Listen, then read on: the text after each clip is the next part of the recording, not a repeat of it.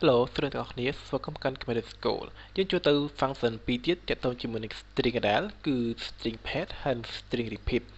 អ្វីគឺ string pad string pad គឺជា pad string មួយដែលដើម្បីគេប្រើវាដើម្បីធ្វើការពន្លាតនៅប្រវែងរបស់ string ឬក៏ប្រភេទរបស់ sentence ឧទាហរណ៍ខ្ញុំបើថា str1 $str ស្មើនឹង hello អឺឥឡូវខ្ញុំទៅ hello ប៉ុន្តែខ្ញុំចង់ទៅថាចេះ ចុចចុចចុចចុចចុចនៅពីខាងស្ដាំឬក៏ខ្ញុំចង់ដាក់ពីខាងឆ្វេងមួយទៀតទៅក៏ដាក់ទាំងសងខាងអូខេអាហ្នឹងគឺជាការប្រើ string pep ហើយយើងពន្លាវាឲ្យទៅជាលក្ខវែងអូខេឥឡូវនេះខ្ញុំនឹងប្រើវិធីហ្នឹងដើម្បីធ្វើការពន្លាវាជាមួយចុចចុចចុចអញ្ចឹងគឺថាម៉េចខ្ញុំថា str ស្មើនឹង str បាន score pet ក្នុងមេខ្លះគឺ string put ហើយនិង string pad ហើយ string យើងចង់ដាក់តែម្ដងប្រហែលតួបាទខ្ញុំដាក់ថាអឺទី1 string put ខ្ញុំដាក់ថាចុចចុចទី2ខ្ញុំដាក់ថាអអត់ច្រឡំខ្ញុំដាក់ទី1ជា str $str str ទី1ជាចំនួនតួខ្ញុំដាក់ថា50តួចុះទី2ខ្ញុំដាក់ថាជា stream ចង់ដាក់ហើយដាក់ចុច អូខេបានតែប៉ុណ្្នឹងទៅបន្ទាប់ពីពេលខ្ញុំធ្វើការ echo str ហ្នឹងទៅទៅ flash page អូខេយើងនិយាយថា time ចំនួនបានអឺយើងរាប់មក0 1 2 3 4អញ្ចឹង hello 4ហើយបូកជាមួយនេះ time 16ទៀតអញ្ចឹង20តួអឺអឺទាំង10មិញ4តួអញ្ចឹងវាសល់46អូខេឥឡូវខ្ញុំដាក់ថាលេខនេះដាក់លេខ4 អញ្ចឹងពេលលេខ4វាថាវាអត់ចេញចុចទេដោយសារអីដោយសារថានេះ0អសារនេះ1 2 3អូខេ0 1 2 3 4អូខេ4តួអញ្ចឹងគ្រប់ហើយអញ្ចឹងពេលខ្ញុំដាក់5មើលថាវាជួយពន្លាតថែមទៀតទៀតតែ page អូខេ5ទៅទេ6 page 20.1អូខេអត់លេខ1ចង់លេខ1 1ពី3អូខេអញ្ចឹងទៅថាខ្ញុំចង់ដាក់10តួអញ្ចឹងខ្ញុំពន្លាតវាថែមចំនួន10តួដូចថាយើងបូកថែមយើងចង់ដាក់ក៏រៀនបីដឹងដឹងទេអូខេយើងខ្ជិលសេច្រើនយើងក៏ប្រើ function ទៅដើម្បីធ្វើការពន្លាតកាន់តែវែងអូខេនេះជាការពន្លាត default way គឺទៅខាងស្ដាំប៉ុន្តែយើងនៅមាន parameter មួយទៀតគឺថាពន្លាតទៅខាងណាខ្ញុំដាក់ថា str underscore pad underscore អឺមិញរាយទៅអត់រាយអញ្ចឹងដល់ពេលខ្ញុំទៅ free page វាពលាទៅខាងស្ដាំធម្មតាប៉ុន្តែដល់ពេលខ្ញុំចង់បដូរទៅខាងឆ្វេងវិញខ្ញុំបដូរកន្លែងនេះកន្លែងអឺនេះជា keyword វា constraint ខ្ញុំលុបរាយទៅជា less ចាំថាវាគឺជាអក្សរធំទាំងអស់គេអត់អញ្ចឹងពេលខ្ញុំទៅ free page វានឹងកម្រិតមកខាងឆ្វេងវិញគេអត់យើងក៏ដាក់ពលាតថែមទៀតបន្តទៀតខ្ញុំចង់ទម្លាតអក្សរខាងអូខេបានអញ្ចឹងខ្ញុំដាក់ថា boss គេនេះជា parameter ចំនួនមាន3គឺមាន string pair right string pair left ហើយនិង string pair boss ចាំថាវាជាសតធំទាំងអស់នៅពេលខ្ញុំទៅ fresh page អញ្ចឹងវានឹងពលិទាំងសងខាងokay អត់បើថាវាជួយយើងក្នុងការសរសេរច្រើនកុំឲ្យមានភាពអញ្ញញ៉ៃជាមិនថាចំនួនបានចុចជាមួយនឹងថា hello ក៏បានដែរឬ space សងខាងទេមក okay អញ្ចឹងក៏បានដែរពេល fresh page វានឹងបន្ថែម hello សងខាងទៀត okay okay អញ្ចឹងនេះហើយគឺជាការប្រើ string pad string pad គេប្រើដើម្បីធ្វើការពន្លាតនៅ string មួយដើម្បីឲ្យមានប្រវែងវាកាន់តែវែងជាងមុនអូខេ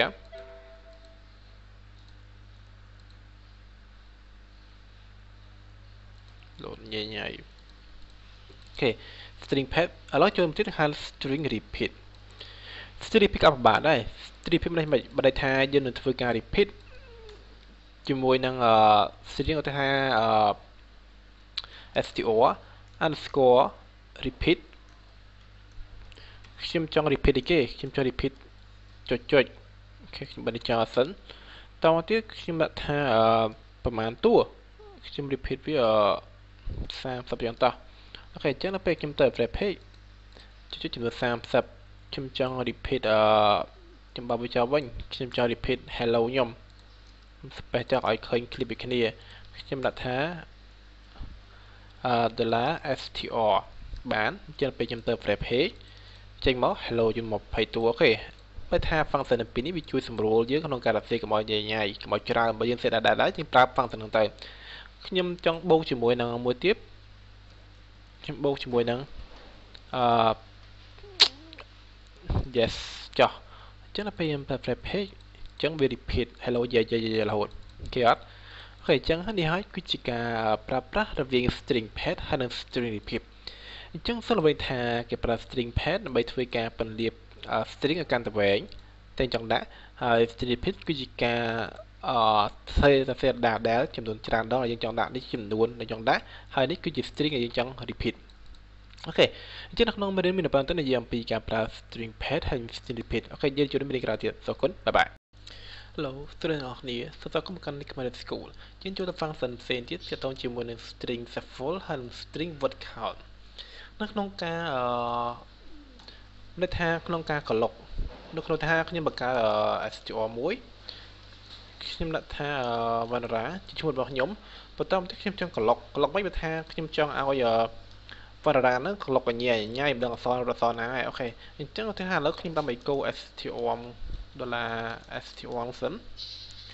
អូខេអញ្ចឹងនៅពេលខ្ញុំទៅបើក page របស់ខ្ញុំគឺឈ្មោះខ្ញុំគឺវណ្ណរាប៉ុន្តែខ្ញុំចង់ក្លុកវាក្លុកយ៉ាងម៉េចណាខ្ញុំចង់ក្លុកវាអត់ទៅញ៉ៃញ៉ៃកុំឲ្យទៅតាមតួអក្សរបន្ថែមដើម្បី security អឺខ្ញុំមិនចង់គេស្គាល់ឈ្មោះខ្ញុំទេអញ្ចឹងខ្ញុំដាក់ញ៉ៃញ៉ៃហ្មងបើក្រំបើរកឃើញអូខេអញ្ចឹងខ្ញុំដាក់ថា str ស្មើនឹង str អឺ shuffle អូខេស្មើខ្ញុំដាក់ string ច្បាស់ដុល្លារ st1 តែម្ដងអូខេអញ្ចឹងដល់ពេលខ្ញុំទៅ refresh page ម្ដងទៀតចាំមើលទៅឈ្មោះ Vara អត់ refresh page ទៅជាអក្សរអញ្ញែញ៉ៃគេប្រើដើម្បីជាធម្មតាគេប្រើ string shuffle ដើម្បីធ្វើការដើម្បីជា security គេធ្វើនៅក្នុងការកុំឲ្យមានភាព ច្បាស់លាស់ពេកកុំឲ្យគេមើលទៅដឹងខ្លាំងពេកអញ្ចឹងគេធ្វើ string shuffle ដើម្បីធ្វើឲ្យគេមានភាពភ័ន្តច្រឡំឬក៏ពិបាកក្នុងការមើលព្រោះថាវាធ្វើការ random character នីមួយៗថា V A N A N A R I O អីហ្នឹងគឺគេថាវាក្លុកមកថាវាក្លុកចុះក្លុកឡើងវាមិនឲ្យលក្ខណៈដូចដើមទេបើថាវាក្លុកទៅក្លុកមកគេមកថា random ឬក៏ថាអអសរទៅពី មិនណាបដូរទីតាំងគ្នាអញ្ញញ៉ៃអូខេអាហ្នឹងគេហៅប្រើ string shuffle អញ្ចឹងគេប្រើ string shuffle ដើម្បីធ្វើជា security ឬក៏មិនឲ្យគេមើលរស្រួលឬក៏លក្ខណៈធ្វើតួអក្សររត់ចុះរឡើងញ៉ៃញ៉ៃមិនត្រូវជាពាក្យជាងអាចសេចអត្ថបទមួយតើមិនតា string shuffle ដើម្បីធ្វើការកលុកអត្ថបទហ្នឹងអញ្ចឹងអ្នកដែលមើលក៏ជាយ៉ាប់ហើយអូខេហើយចឹងនេះជាការប្រើប្រាស់ string shuffle តទៅទៀតចាំមើលនឹងការ string word count string word count នេះគឺជាការអីគឺជាការរាប់ចំនួន character នៅក្នុង string ហ្នឹងតាមប្រមាណតួអក្សរអូមានប្រមាណ word string word count ដូចជាបានរៀនរួចហើយនៅក្នុងមេរៀនមកតែឥឡូវខ្ញុំនិយាយឡើងវិញម្ដងចុះព្រោះថា string word count តទៅជាមួយនឹងការចំនួនអឺពាក្យគឺថាខ្ញុំវ៉ាន់រ៉ាវ៉ាន់រ៉ាដាអូខេមាន3ពាក្យតោះមកខ្ញុំដាក់ថា string shuffle ខ្ញុំដាក់ថា str word count ខ្ញុំដាក់អឺដាក់ថាអឺ dollar str បាទ echo អញ្ចឹងដល់ពេលខ្ញុំ refresh មកគឺបង្ហាញជួប្រហែល3ពាក្យអូខេអញ្ចឹងមានពាក្យចំនួន3ជាធម្មតាទេនៅពេលបើថា str word count ន័យថា string ថាជាការរាប់ នៅចំនួនពាក្យនៅក្នុង string អញ្ចឹងខ្លួនមាន3ពាក្យគឺវ៉ាន់ដារ៉ាដាប៉ុន្តែនៅពេលនេះពេលដែលខ្ញុំ echo មានន័យថាវាគ្រាន់តែ echo លក្ខណៈ string ធម្មតាគឺជាចំនួនពាក្យប៉ុណ្ណោះប៉ុន្តែខ្ញុំចង់អឺទាញវាជាលក្ខណៈ array បានអត់អូខេអត់បញ្ហាទេយើងអាចធ្វើការទាញវាជាលក្ខណៈ array វិញអូខេខ្ញុំនឹងទាញ varada នេះ ទៅជា array ព្រោះថាខ្ញុំធ្វើការផ្លាស់ប្ដូរពាក្យនីមួយៗនៅក្នុងនេះស្ទាត់ក្នុង array តាមដំណោចខ្ញុំដាក់ថា permission វាគឺខ្ញុំដាក់ថាលេខ1អញ្ចឹងខ្ញុំមិនអាច echo អានេះបានទេបើខ្ញុំ echo គឺ error ពីព្រោះថាយើងមិនអាចបន្ត convert វាទៅជា string នៅឡើយទេអូខេវាបង្ហាញថាជា array អញ្ចឹងដើម្បីដើម្បីធ្វើការបង្ហាញ array បានគឺយើងប្រើ function ថា var dam ខ្ញុំដាក់ថា $str អូខេអត់អអញ្ចឹងពេលខ្ញុំទៅ refresh page វាបង្ហាញជា array one ra da អូខេអត់អញ្ចឹងនេះហើយគឺជាការផ្លាស់ប្ដូរដូចថាដំបូងគឺខ្ញុំរាប់ពាក្យទេប៉ុន្តែខ្ញុំចង់យកពាក្យមកប្រើមួយមួយអញ្ចឹងខ្ញុំត្រូវតែបំលែងទៅជា array គេអត់អញ្ចឹង